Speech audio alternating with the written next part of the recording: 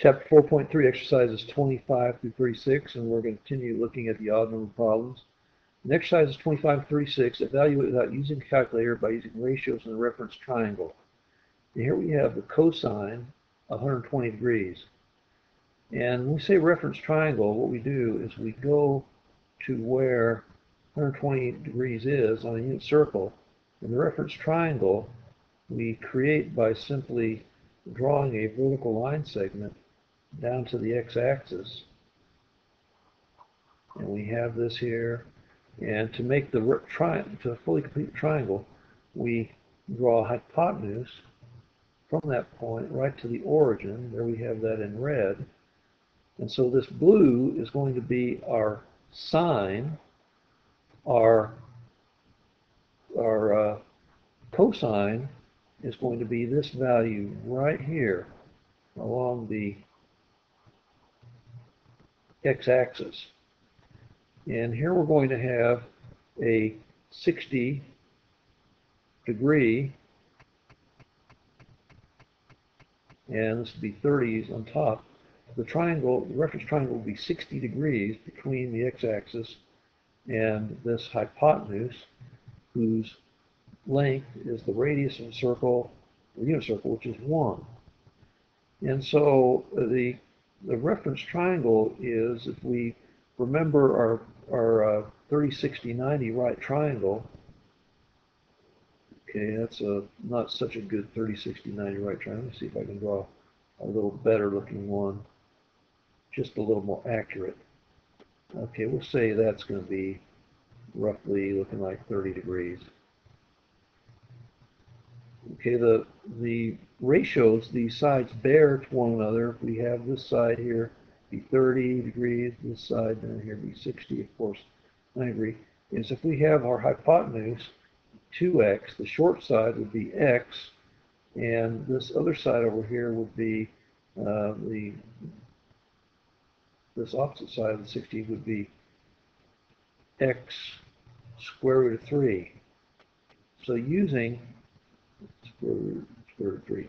So using this aspect here, if we say 2x equals 1, well then x, x is going to be equal to 1 over 2. So x equals 1 half. But in this case, we're going the negative direction here. So we so our answer is going to be negative 1 half which should be logical both in terms of the triangle itself that we see and uh, is evidenced by this coordinate value here at, at the 120 degree mark. Next, let's go to problem 27, the secant of pi over 3.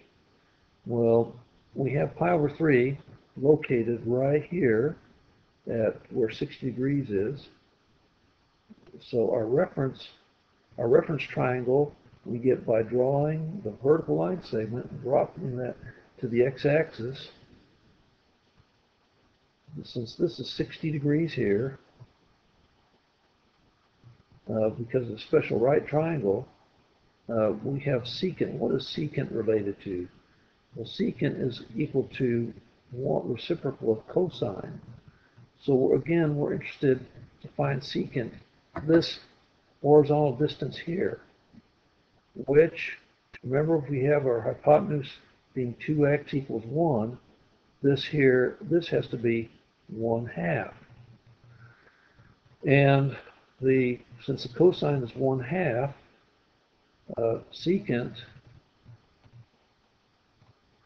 of pi over 3 has to be 1 over cosine of pi over 3, which is so secant of pi over 3 is equal to 1, and the cosine of pi over 3 is 1 half. So dividing by a fraction is the same as multiplying reciprocal. So instead of dividing by 1 half, we multiply by 2 over 1.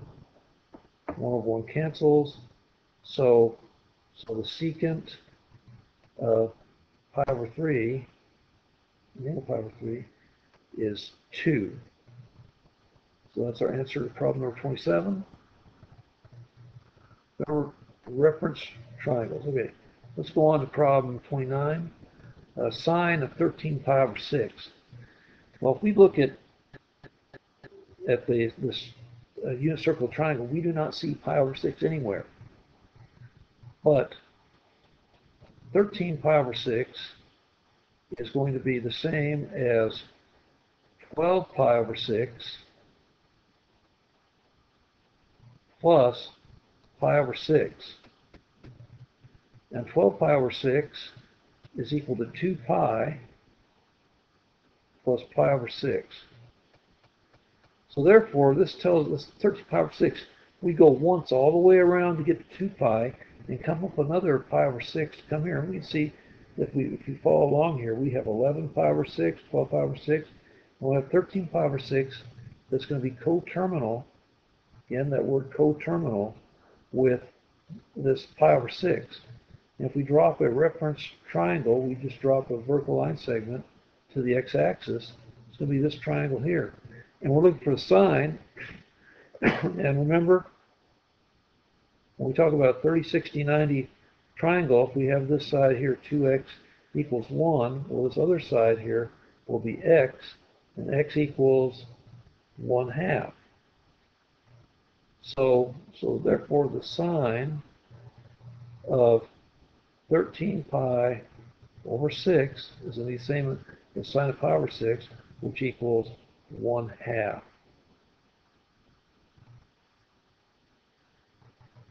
Okay, we're not, so without using a calculator, right? We are not using a calculator. We haven't seen a calculator, have we? Okay, next, problem 31. A tangent of negative 15 pi over 4. All right, 15 pi over 4. We're going negative. Finding this thing right here, that's going to be the challenge. All right, we have fourths. All right, what are we going to do?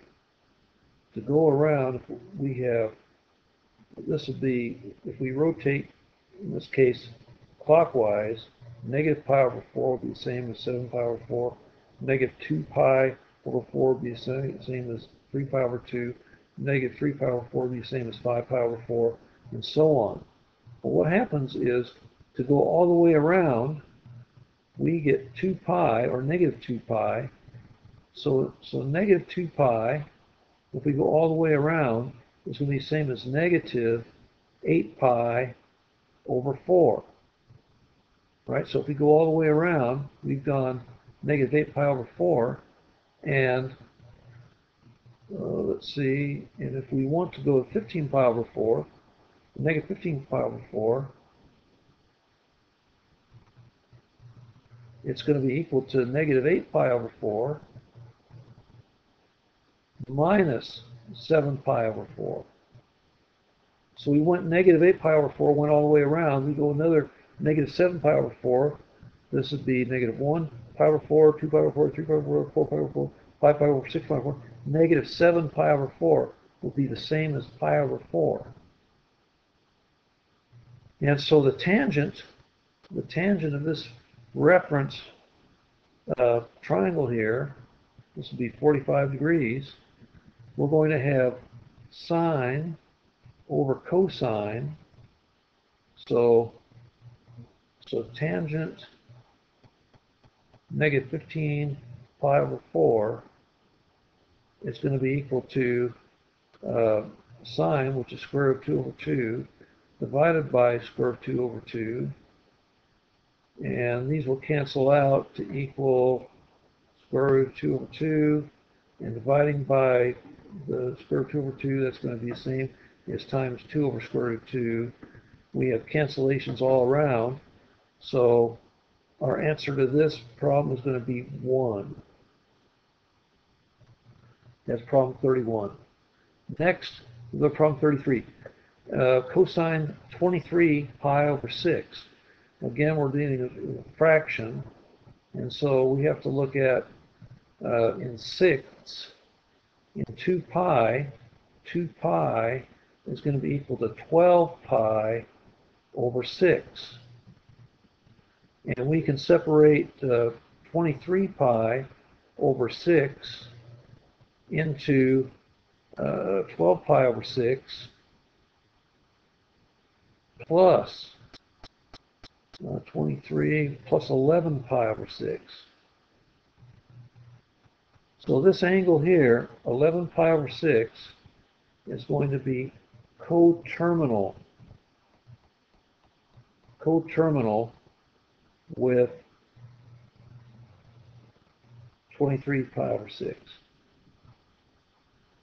And we have, if we have, uh, draw a reference triangle, we're going to have, in this case, uh, negative 30 degrees. If we have 2x here, this side over here on the right is going to be uh, half of that will the x, and this one over here on the top will be x square root of 3. In this case, uh, 2x equals 1, right? Since 2x equals 1, x equals 1 half, and x squared root of 3 is going to be equal to square root 3 over 2, which we have as our answer right there. So, so therefore the cosine of 23 pi over 6 is square root of 3 over 2.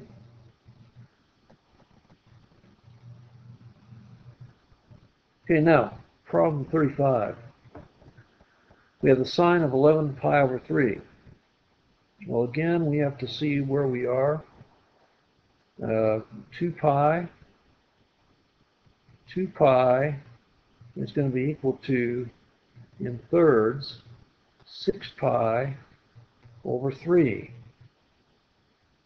And so uh, 6 pi over 3 plus what equals 11 pi over 3? Well, it's going to be 5 pi over 3. So after having gone around the circle once to get 6 pi over 3, we go another 5 pi over 3 to get to this point on the unit circle here. 3 and, and really, or uh, it's really off target. Hard to get these things right. Okay, that's a little better. So again, dropping the reference angle, dropping straight to the x-axis, we're going to have a reference triangle going to be 60 degrees here. In this case, the sine is going to be negative since we're going down. And here we have 2x here uh, for the hypotenuse. x is going to be this. So we have, we if 2x equals 1, x, or cosine, is going to be 1 half.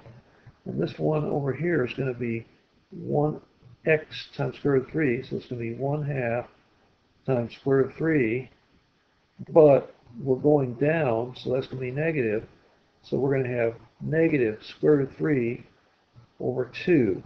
So we can write a concluding statement here that a sine of 11 pi over 3 is going to be equal to negative square root of 3 over 2. And so there it is. We've done all the odd number problems on this set. Good luck to you, and thank you for viewing.